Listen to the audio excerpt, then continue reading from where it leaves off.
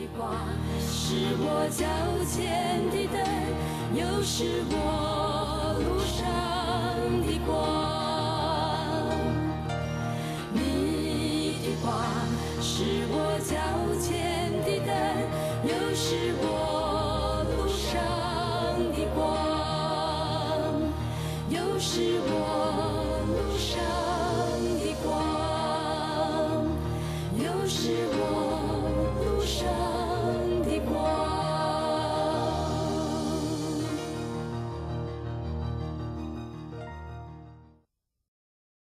各位弟兄姊妹平安。我们今天继续来讲重复率。我们今天要更扩大范围，我们要从好几卷书来找重复率。那么我们前面已经有各样的练习，我相信大家的心窍已经慢慢习练的更加的通达啊。那么我们现在的范围更广啊。那么但是我相信我们只要很耐心的来学习，我们一定能够很好的来掌握这个重复率。好，几卷书，我们也可以从当中看到一些重复率啊。请我们一起来翻开圣经《沙漠记上》二十三章第二节，《沙漠记上》二十三章第二节。所以大卫求问耶和华说：“我去攻打那些非利士人，可以不可以？”耶和华对大卫说：“你可以去攻打非利士人，拯救基伊拉。”我们再来看二十三章第四节，大卫又求问耶和华，耶和华回答说：“你起身下基伊拉去，我必将非利士人交在你手里。”我们再来看二十三章十到十一节，二十三章十到十一节，大卫祷告说：“耶和华以色列的神啊，你仆人听真的扫罗要往基伊拉来，为我的缘故灭城。基伊拉人将我交在扫罗手里不交。扫罗照着你仆人所听的话下来，不下来。耶和华以色列的神啊，求你指示仆人。耶和华说：扫罗必下来。好，弟兄姊妹，我们先从这三处，同样在二十三章《沙漠记》二十三章啊，这三处经文，我相信你已经可以很明显看到一个重复率啊，那就是大卫是一个凡事求问上帝的人啊，这个是很明显的啊。你看到在记载大卫的生平的时候，作者呢特别凸显一件事情，就是大卫是一个凡事。求问耶和华的人，我们再看一次哈，《沙漠耳记上》二十三章第二节。所以大卫求问耶和华。我们再看第四节，大卫又求问耶和华。我们再看十到十一节，大卫祷告说啊，这个这个祷告其实也是一个求问的祷告。所以你看这一章里面的这三处重复，你就已经可以看得出来，大卫是一个凡事求问上帝的人。而我们来看一下《沙漠记》跟《沙漠沙漠记上》跟《沙漠记下》这样的重复不断的提到。好，我们继续往下看哈，请我们翻到《沙漠记下》第二章第一节，《沙漠记下》第二章第一节。此后，大卫问耶和华说：“我上犹大的一个城去，可以吗？”耶和华说：“可以。”大卫说：“我上哪一个城去呢？”耶和华说：“上希伯伦去。”啊，我们再次看到，圣经的作者他刻意有意的把这件事情凸显出来啊，就是大卫是一个凡事求问上帝的人。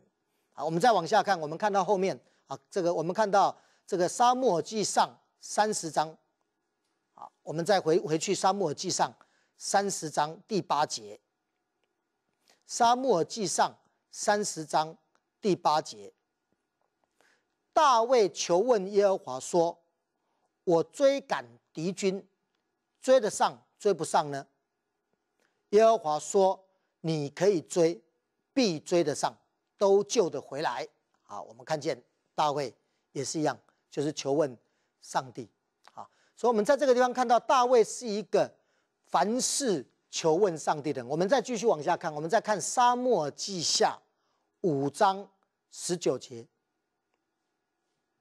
沙漠记下五章十九节，大卫求问耶和华说：“我可以上去攻打非利士人吗？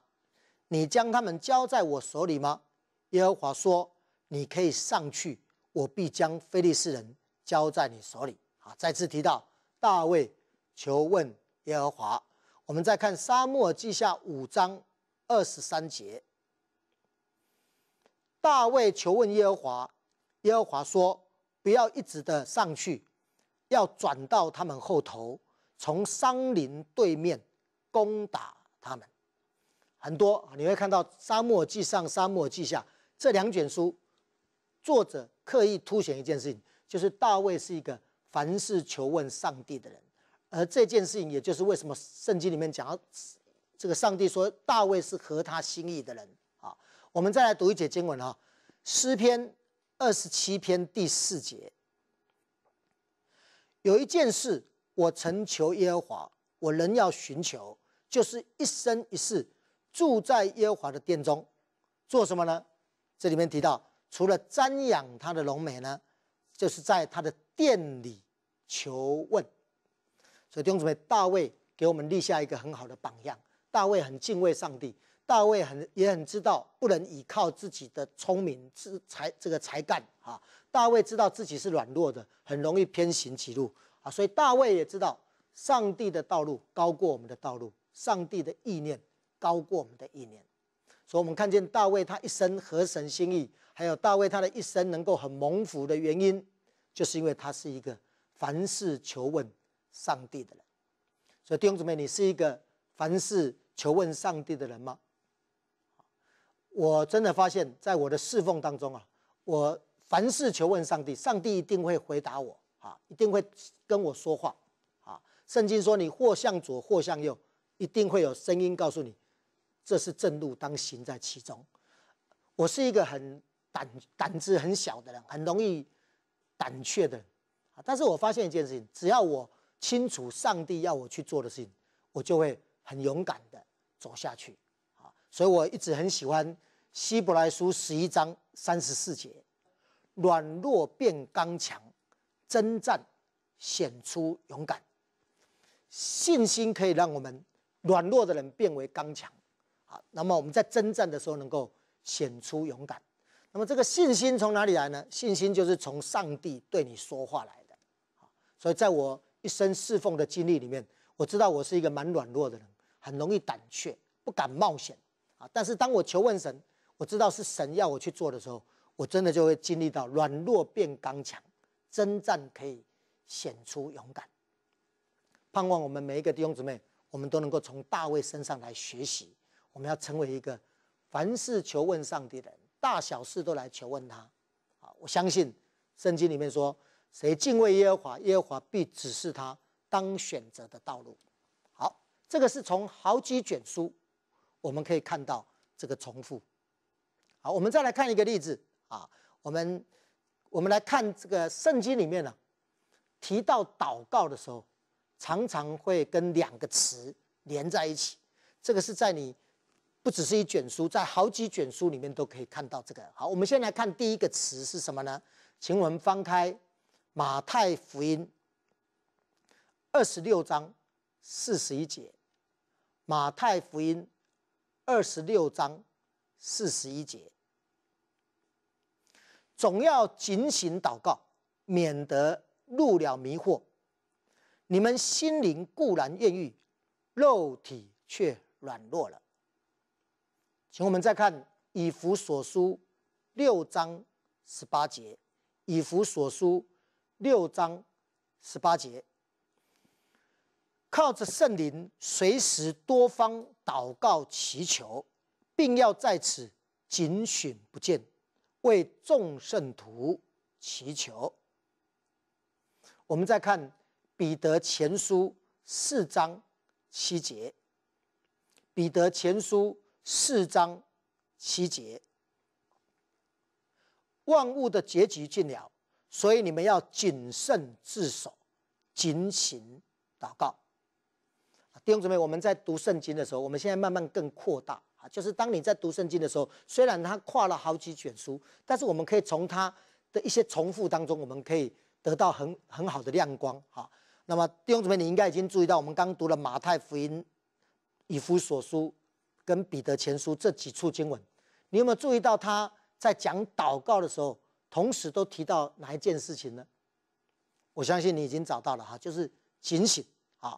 马太福音二十六章四十一节说：“总要警醒祷告，免得入了迷惑。”以弗所书六章十八节说：“啊，我们要靠着圣灵，随时多方祷告祈求，然后呢，要在此什么警醒不倦。”彼得前书四章七节说：“万物的结局尽了，所以你们要什么谨慎自守，怎么样警醒。”祷告，所以弟兄姊妹，这个就是观察。好，我们观察重复，我们就发现一件事情，就是圣经里面提到祷告的时候，常常跟警醒连在一起。那么我们观察以后，我们就试着来解释它，为什么圣经提到祷告的时候就提到警醒呢？那么可见，祷告是我们很容易忽略的事情。祷告是魔鬼要夺走的一件事情。魔鬼不喜欢基督徒祷告啊！我常举一个例子，就是如果有小偷啊，这个强盗到你家里去，那么你正在家里睡觉，他要抢你家里的东西呢，那他会怎么对付你呢？啊，他可能不要把你杀掉啊，但是他又怕你尖叫啊，怎么办呢？所以他一定会塞住你的嘴巴啊。今天魔鬼也是做这个工作，魔鬼呢，什么事情都不怕，他对基督徒什么事情都不怕，他就怕你祷告。啊，当你一祷告，神就要为你工作的时候，那么魔鬼就失败了。哈，所以弟兄姊妹，我们在这里看到圣经里面提到祷告，就提到这个警醒。啊，所以我们很需要常常去持守祷告的生活。常常持守祷告的生活。啊，这是第一个。另外呢，我们再来看圣经里面常常提到祷告的时候，除了提到警醒之外呢？常常祷告跟另外一个一件事情会连在一起，那么我们一起来看啊，这个范围更大了，从新约一直到旧约都是如此。我们先看新约的部分，请我们看路加福音十八章第一节，路加福音十八章第一节，耶稣设一个比喻，是要人常常祷告，不可灰心。我们再来读《使徒行传》第一章十四节，《使徒行传》第一章十四节，这些人同着几个妇人和耶稣的母亲玛利亚，并耶稣的弟兄，都同心合意的横切祷告。我们再看《罗马书》十二章十二节，《罗马书》。十二章十二节，在指望中要喜乐，在患难中要忍耐，祷告要恒切啊！弟兄姊妹，我们先看这三处经文啊，你已经可以发现，在这三处经文里面呢，祷告跟什么事情连在一起呢？我相信你已经看到了，就是跟恒心很有关系啊。祷告除了跟警醒连在一起之外，圣经里面祷告最常。跟什么连在一起的？就是告诉你，祷告要要有恒心，要恒切。好，那我们我们再回头看一下啊，《路加福音》十八章第一节，耶稣说什么呢？耶稣设一个比喻，是要人常常祷告，怎么样？不可灰心，不可灰心。我们再看《使徒行传》第一章十四节，我们刚读的哈，这里面提到说，这些人同着几个妇人和耶稣的母亲玛利亚，并耶稣的弟兄都。同心合意的怎么样？横切祷告。好，我们再看罗马书十二章十二节，在指望中要喜乐，在患难中要忍耐，祷告要什么？要横切。所以你看了三处经文，你就已经看见，祷告常常圣经里面提到祷告常常跟横切是连在一起的。好，我们继续再把其他的经文读完哈。以弗所书第六章十八节，以弗所书第六章十八节，靠着圣灵，随时多方祷告祈求。好，下一句说什么呢？并要在此警醒，警醒。我们刚刚已经提过了，祷告跟警醒连在一起。他接接下来说什么呢？并要在此警醒，什么不倦。祷告很容易灰心，祷告我们很容易就这个手就会很软，那个祷告的手很容易就会这个酸啊。所以这里告诉我们要警醒不倦。好，我们再看看哥罗西书第四章第二节，哥罗西书。第四章第二节，你们要恒切祷告，在此警醒感恩。好，我们看到你有没有看到“恒切”这个词啊？又出现了。好，我们再看《帖撒罗尼迦前书》五章十六节到十八节，《帖撒罗尼迦前书》五章十六到十八节。要常常喜乐，不住的祷告，凡事谢恩。读到这里就可以了。你看看这个里又提到了常常喜乐，然后呢，不住的祷告啊。所以你看到祷告跟横切跟不住这个词常常连在一起。好，这个是新约的部分。我们现在来看旧约的部分。旧约的部分，好，以赛亚书六十二章六到七节。以赛亚书六十二章六到七节，耶路撒冷呢？我在你城上设立守望的，他们昼夜必不寂寞，呼吁耶和华的。你们不要歇息，也不要使他歇息，只等他建立耶路撒冷，使耶路撒冷在地上成为可赞美的。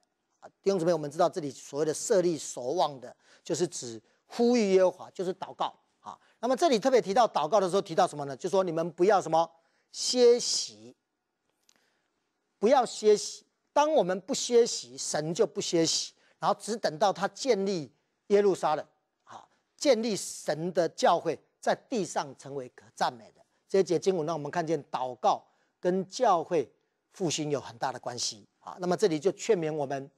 祷告要不歇息的祷告，好，我们最后再来看启示录第八章四到五节。启示录第八章四到五节，那香的烟和众圣徒的祈祷啊，这里面提到众圣徒的祈祷，从天使的手中一同升到神面前，天使拿着香炉盛满了坛上的火。倒在地上，随有雷轰、大声、闪电、地震。啊，这里面提到那个坛上的火要要累积的，要盛满了，才有办法倒在地上，跟着众圣主的祈祷。那么倒在地上的时候，就能够雷雷轰、大声、闪电跟地震。这个地方也同样让我们看见，我们艺人的祈祷是大有功效的。所以弟兄姊妹，这里让我们看见。祷告除了跟警醒连在一起，另外一个词很重要的，就是跟横切要连在一起。好，为什么上帝讲到祷告的时候就提到要横切呢？那么，因为有很多时候祷我们所祷告的事情，不可能是立刻就成就。啊，上帝有上帝的时间表。啊，所以我们每一个基督徒，我们要真的像耶稣所鼓励我们的，常常祷告，不要灰心；常常祷告，不要灰心。横切的祷告，啊，只要我们继续不断的祷告，有一天我们会看到上帝成就他的工作。我相信很多弟兄姊妹里面有这样的经验，啊，有很多事情，啊，我们巴不得每一次我们祷告的时候，今天祷告，明天就成就了，啊，但是有很多时候，我们的祷告需要横切，继续不断的祷告，直到就像我们刚刚读的以赛亚书六十二章里面讲的，不要歇息，直到他建立他自己的。伟大的工作啊！我我分享我我的家人得救哈，我自己是我们家里第一个得救的。好，我在大学的时候信耶稣，那么当我信了耶稣以后，我就很迫切、很渴望看到我的家人能够得救。那么我第一个最想传福音的对象是谁呢？啊，我有一个双胞胎的哥哥哈，我叫王天佑，他叫做王天佐。哈，那我们两个人是双胞胎，我们两个人差五分钟这个出生哈，所以我。当然，我从小就跟他感情很好。我们，嗯，我们都知道双胞胎有心电感应的啊，所以我传这个信了主以后，第一件事情就是传福音给他啊。啊，我我的我的双胞胎的哥哥是非常聪明的人啊，他大学是师大附中直接保送这个师范大学的哈，所以我跟他怎么传福音，他都不接受。后来呢，我们当完兵啊，我我就去读神学院了啊。那么我在神学院期间呢。我就跟我的妻子呢，我们每一每一个礼拜三早上，我们就分别时间啊，来为我们的家人的得救来祷告啊。呃，祷告祷告祷告，一天两天，一个月两个月，没有看到果效啊。每次我遇到我的双胞胎的哥哥的时候，哈，每次跟他传福音，他照样嘲笑我啊，就是对我的信仰很多的这个嘲笑啊。但是呢，弟兄姊妹，我在说我们的祷告不要灰心。等到盛满了的时候，就会有果效啊！所以我就继续祷告，继续祷告。怎么祷告呢？因为我跟他见面的时间不多啊，我们在不同的地方啊，所以我就祷告。因为他那个时候在板桥的重庆国中当英语老师啊，所以我就祷告说：“主啊，求你兴起在他的这个学校里面有基督徒的老师，能够传福音给他啊，或者邀请他去教会。”我想这个是一个很具体的祷告了，啊，结果祷告祷告不是立刻成就啊，过了一段时间，很感恩。有一天我回家的时候，啊，我的哥哥遇到我就说感谢主，我说你又来了，你又在嘲笑我。他说不是，我真的信主了。哇，我听得很很兴奋了。我说你怎么信主了呢？他就说他们学校里面真的就是有一个老师，这个邀请他去去一个教会啊，参加他们的这个慕道班。那么他就去参加了。他说他第一天去呢，那个慕道班的老师讲的第一天他就很被吸引，那么他就慢慢的就信主了，也受洗了啊！哇，我就听得很感动，我真的觉得神成就这个祷祷告，而且我告诉你，这是不可能的事情变为可能啊！有几个不可能哈？第一个，他他从板桥到那个教会要坐很久的车，要换两班车啊！我的这个双胞胎的哥哥，他有一个。绰号就是叫做台语叫做“生 A” 了哈，就是他他很懒惰哈，他他他有一个眼睛呢，医生说深不可测，因为他常常躺着读书啊，所以他怎么会愿意坐两班车去参加慕道班啊？这个是第一个神机。第二个神机呢，后来我有机会啊认识那个介绍他去邀请他去参加慕道班的那个姐妹啊，他们他们学校的一个老师，那个老师是一个非常内向的人。非常非常内向的人啊，他后来告诉我说，他拿那个慕道班的邀请单给我的那个天佐哥的时候啊，是手一边在发抖的啊。这样的人，竟然上帝也能够使用他啊。那还有呢，这是第二个神机，第三个神机啊。我的哥哥说，他到了那个教会的慕道班了，那么那个老师讲的第一第一天讲的就让他深深的被吸引。后来我也认识了那一个慕道班的老师，这个慕道班的老师他是一个香港侨生啊。国语都讲不大清楚的，啊，但是我的哥哥这么骄傲的人，竟然愿意啊听他的，我真的觉得这一切都是上帝的作为，啊，所以弟兄姊妹，如果你正在为你的家人祷告的，不要灰心，好，我的家人陆陆续续，我的大哥，我的这个大这个大啊二哥啊，这个我的大姐都信主了，啊，所以弟兄姊妹，我们只要不灰心的祷告，神一定会成就，哈，今年也是我们教会丰收的一年。我们我们今年教会的目标就是要带领家人得救，感谢主，我们有很多很美好的见证啊。我们有一个姐妹啊，她的丈夫一直都不信主啊。我们这个姐妹她已经信耶稣信了十多年，啊，她的丈夫呢一直不信主，不但不信主，非常排斥我们的信仰啊。我们这个姐妹啊，她完全无法跟她传福音。那么后来我们这个姐妹呢，我们有一天我们就邀请她成为我们教会社区服务中心的干事。啊，那么我邀请她成为这个干事的时候，我就说，那总应该去认识一下她的丈夫啊。啊，你知道我们这个姐妹特别叮咛我，你邀请她吃饭可以，跟她聊天可以，千万不可以跟她讲耶稣。我说怎么不？我就趁这个机会跟她传福音。她说不可以。我说丈夫非常排斥，他会跟你翻脸的啊。所以那一次我请她吃饭，也不敢跟她讲耶稣了。但是你知道吗？上帝就很奇妙，我们这个姐妹是一个祷告的人，祷告祷告。有时候要祷告很久，祷告了十几年。感谢主，今年初神迹发生了，啊，就是这个她的丈夫呢，他是在大陆工作，他是一个大陆很大的这个台湾的企业的厂长。